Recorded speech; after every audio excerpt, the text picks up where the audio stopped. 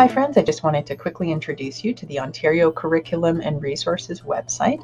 So it is dcp.edu.gov.on.ca. And once you're here, this is the landing page. Elementary K to 8 is the default that it goes to.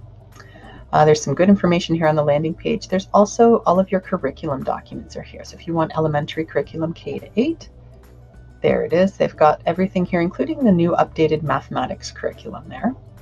There's a whole bunch of great information here for program planning, considerations, with, of course, a special focus on student well-being and mental health. And, of course, of uh, interest to our ESL teachers is planning for our English language learners. There's a, good little section in there with some great information and a bunch of policy and resource documents that are linked there. So that's great if you're looking for those. Uh, under assessment and evaluation, there's a tab there. There's also some really great information here, learning skills, assessment for learning, etc., reporting, achievement charts. So all of that is all in one place now, which is great. And then uh, one of my favorite parts here, of course, is the parent section. Um, as a parent, it's good for me to um, have access to this, but also as a teacher, I love sharing information with parents.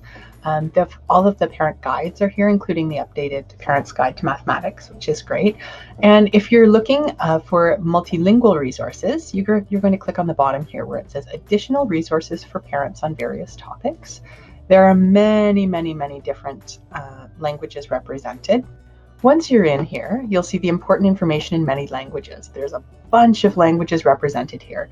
Now, unfortunately, not every language that your parents might be literate in in your school community, but it is a good start. And there are many of the languages that are represented in a number of our WRDSB schools here. Uh, as you go down, you can see all the different resources that are included, a bunch of different fact sheets. So they're all listed here. First, you can see them in English. And then underneath, you can see the Arabic versions, you can see Bengali, all sorts of languages here. If you just keep scrolling down. There's tons and tons of information here.